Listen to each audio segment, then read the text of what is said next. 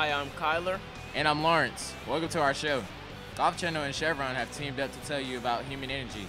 That means stories about kids, science, technology, and math. Chevron also created a program called Eagles for Education, which helps fund programs for kids. Did you know that East Lake Golf Club is the permanent home of the Tour Championship? Yes, I did know that. I also know that in 2011, Bill Haas was the winner.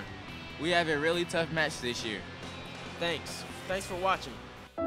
Most people only see a golf tournament. I see scatter theories. I see high-tech labs working on robotics.